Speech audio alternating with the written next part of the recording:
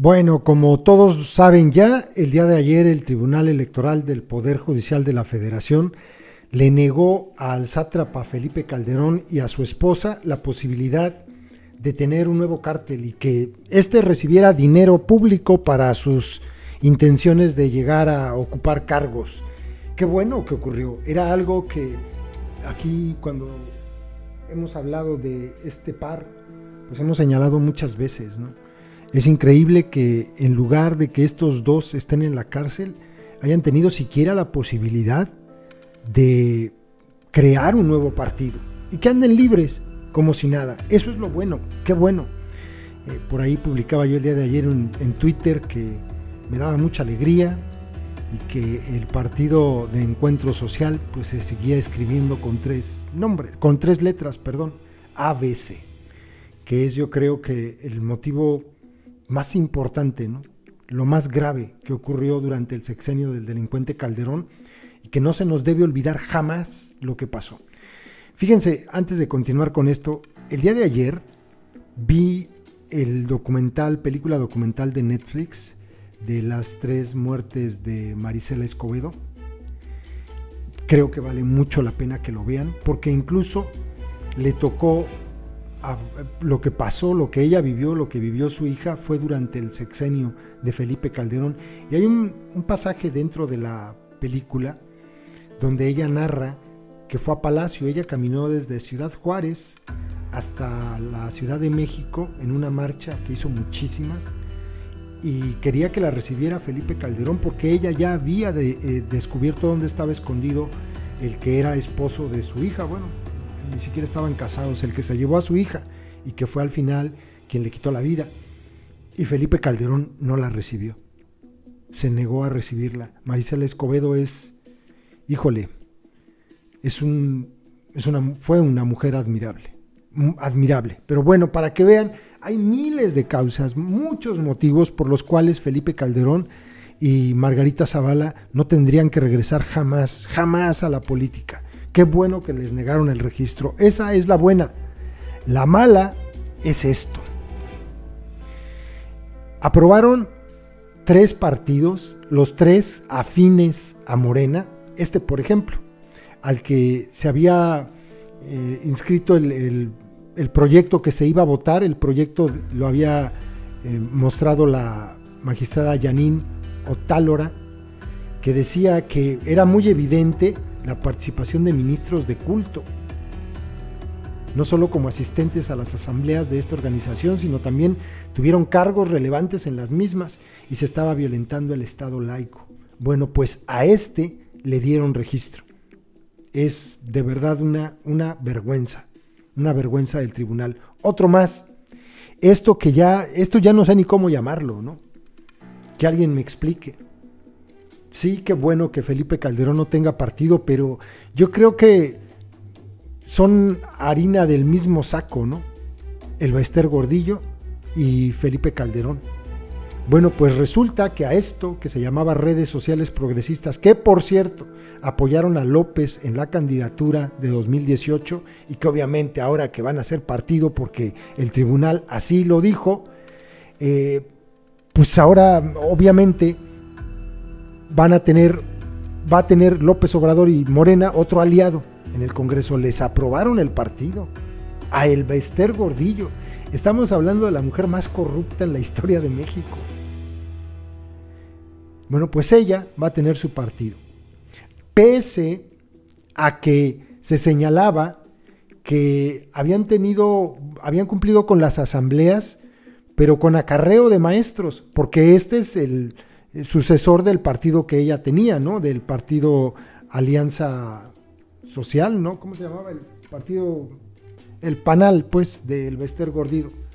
Nueva Alianza, perdón. Es lo mismo, o sea, es otra vez el sindicato de trabajadores de la educación que forma un partido y ella, pese a que no sea la que aparezca con el nombre en el registro, sino su yerno, pues todos sabemos de qué se trata, ¿no? De hecho, fíjense lo que dice aquí.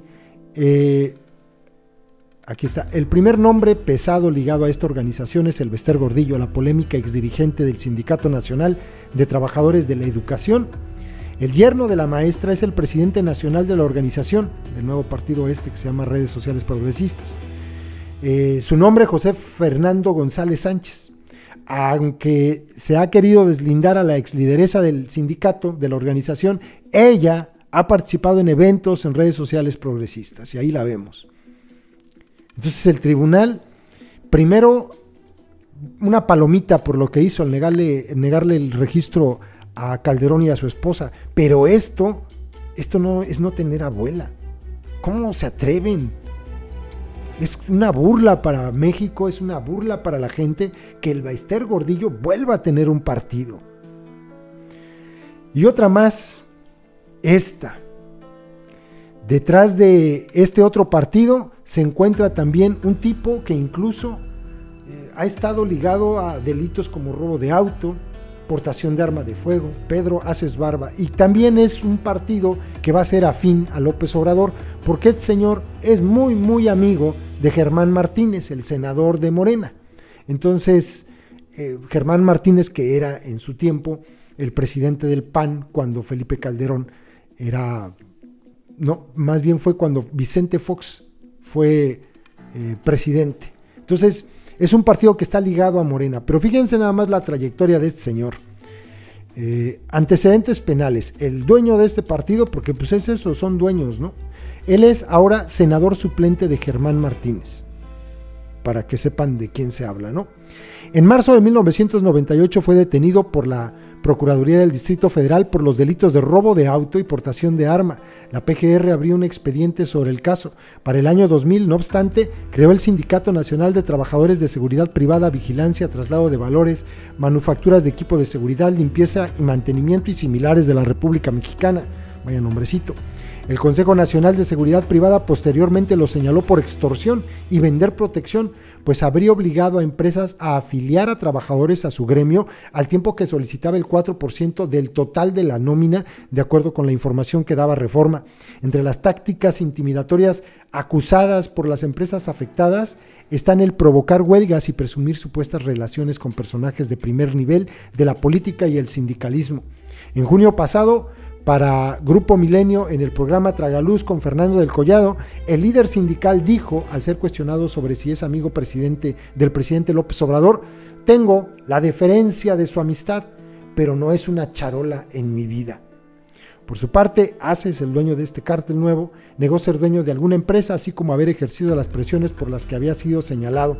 Asegura que su CATEM congrega a 1.178 sindicatos, es decir, a millones de trabajadores. Bueno, pues este señor, con antecedentes penales, ya tiene partido político. Qué curioso, ¿no? Tres partidos, los tres afines a López Obrador, los tres. El de los evangélicos, López Obrador, muy amigo de ellos. El del Bester Gordillo, las redes progresistas trabajaron junto con López Obrador en la campaña, y este también de un amigo del mismo López. Es una vergüenza. Sigan creyendo en la democracia de partidos, sigan creyendo, ni, ni democracia es ni nada. Son los mismos de siempre, pa' pronto, entre amigos, entre cuates. Se otorgan registros de partidos porque saben que tener un partido político en México es convertirte en millonario, porque les dan mucho dinero mucho, mucho dinero. Y a robar de lo lindo, ¿no? Qué vergüenza el tribunal con esta resolución sobre esos tres partidos. Sobre este, pues carajo, ya habría sido demasiado, ¿no? Ya habría sido mucho. Estos que bueno, y ojalá. ¿Saben qué es lo malo del caso? Que todavía les queda la opción de la candidatura independiente. Eso es lo único malo. Pero por lo pronto, pues van a tener que seguir refunfuñando este par de criminales porque se quedaron sin registro. Tres noticias malas por una buena. Con esto, el Tribunal Electoral tiene aplaudiendo a todos los pejes y no voltean a ver que le dieron registro a tres partidos, bueno, que ya escucharon ustedes más o menos de qué patita cojean. Pero están aplaudiendo esto, aplauden esto nada más. Lo demás ya no les importa. Esto es porque López Obrador le metió en la tatema a toda la bola de adoctrinaditos que el único malo del mundo mundial es Felipe Calderón. Pero nosotros sabemos que no es así. Es él pero también los otros. Y les acabo de dar un nombre que yo creo que tiene mucho peso, el Bester Gordillo. Pero esa, pues mientras sea amiga de su amo, pues no hay problema, le perdonan absolutamente todo. Incluso son capaces de decir que la pobre estuvo en prisión porque bien malo Enrique Peña Nieto la mandó y era buena. Son capaces de decirlo. Aplauden que se le haya entregado registro a un partido de esta mujer. Qué vergüenza. Saludos, compas.